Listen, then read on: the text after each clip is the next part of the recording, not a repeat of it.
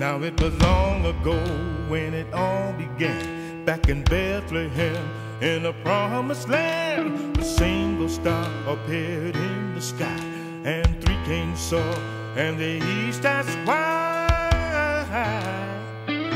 east as wide. And they checked the books full of prophecy, and the one king said, Why it's plain to me, that a king is born who saved mankind on this blessed morn.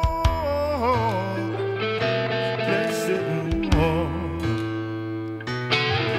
So they packed some gold, myrrh, and frankincense on some old camels with some fancy tents.